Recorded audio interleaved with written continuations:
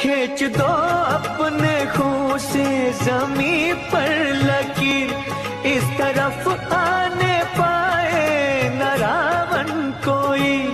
तोड़ दो हाथ अगर हाथ उठने लगे। छूने पाए न सीता का दामन कोई। अब तुम्हारे हवाले वतन साथियों।